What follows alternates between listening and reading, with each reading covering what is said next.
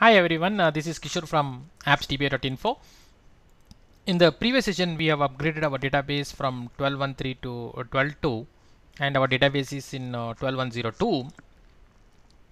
In this current session, we are going to upgrade from uh, release 12.2 to 12.210. Uh, we are going to follow this particular note ID uh, before we can do we need to see that our optimizer adaptive features is equal to set to false and bounce the database because we are going to use the cost based optimization. Then we need to apply the consolidated seed table upgrade uh, patch. The patch number is uh, yeah this is the patch number.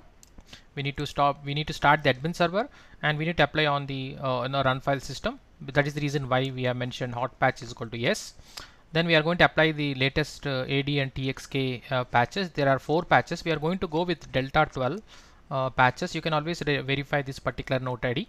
Uh, when I was preparing this document, I went with Delta 12.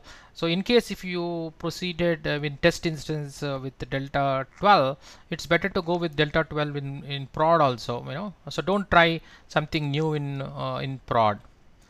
So before before proceeding with applying the patches, we need to run the AD grants on the database tier and apply all the four patches. Few patches have to be merged to.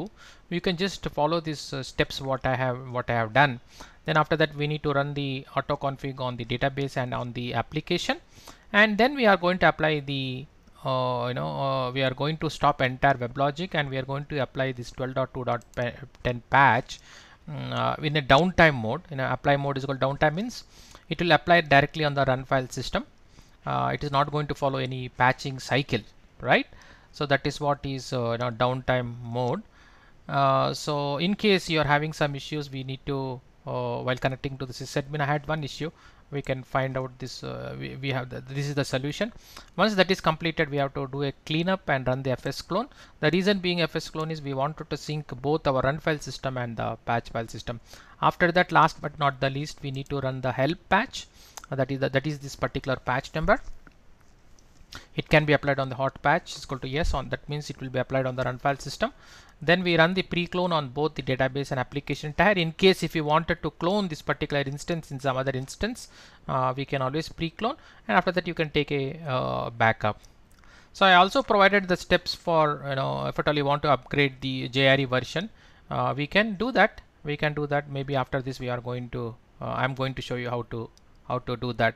So this is pretty much what we are going to cover uh, uh, as after the upgrade from 12.2 you are uh, you're ready to upgrade to 12.2 so I will just show you few parameters and uh, uh, we'll start applying. So if you see this I have already so let me connect to the database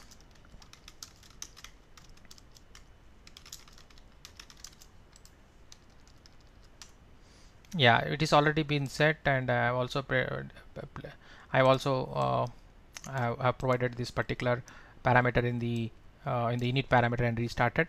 So we are pretty good now uh, so we'll apply these uh, consolidated patches. For that we need to uh, stop the application and start the admin server.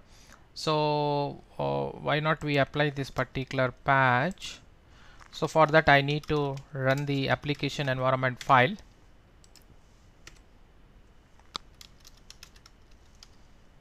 right? So I ran the application environment file and we are going to apply this particular uh, consolidated seed table patch by running this particular command.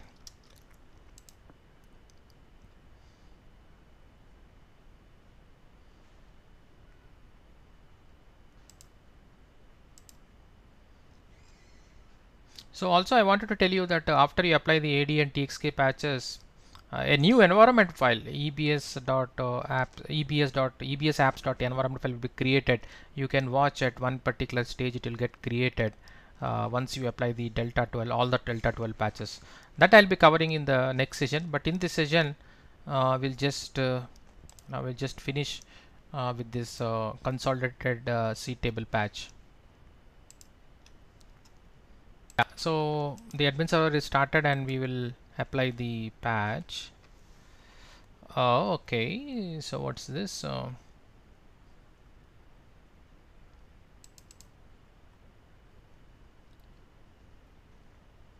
since earlier patching system failed and you cannot apply this patch please apply this okay? So so let me say restart is equal to or I'll go to abandoned is equal to yes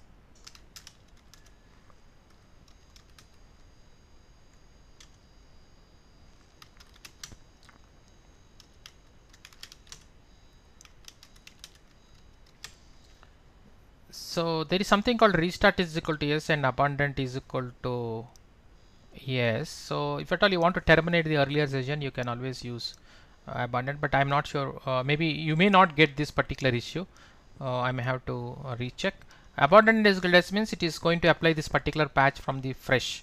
Whereas restart is equal to yes means it will uh, it will try to apply the previous patch from the place where it has stopped. So we need to know the difference between abandon and, and restart so let me wait for this particular patch to get completed.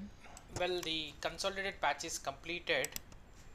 So just to rewind I just went through uh, the upgrade steps from 12.2 to 12.2.10 and uh, we need to apply the console table which is successfully applied. In the next session we are going to apply the latest AD and TXK patches. Thank you